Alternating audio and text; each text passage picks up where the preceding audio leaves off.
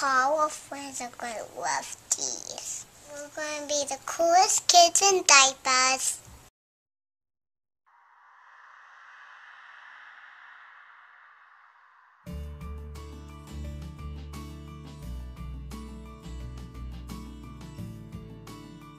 With budgets tightening, the first area administrators often cut is their after school programs, and many booster clubs today can only assure their existence by self funding.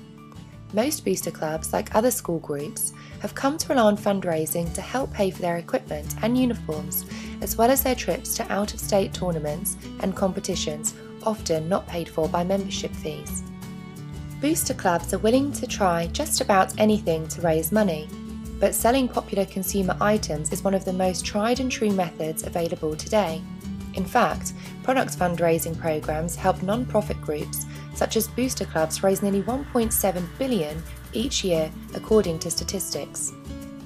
It is often the case that it is up to the booster club president to motivate the parents, coaches, teachers, students and other supporters.